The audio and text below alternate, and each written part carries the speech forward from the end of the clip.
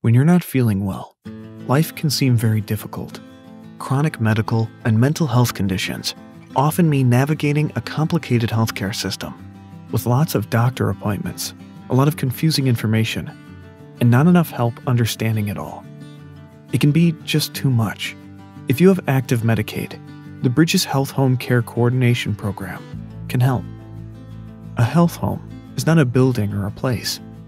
It's a program that connects you with a care coordinator who can help you with your medical and social service needs and make sure you have the information you need to make decisions about your care and the support you need to manage it all. Your Bridge Care Coordinator will get to know you and connect you to healthcare and other services.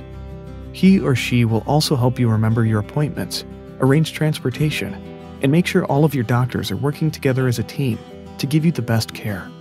Your Bridge Care Coordinator will be an advocate for you.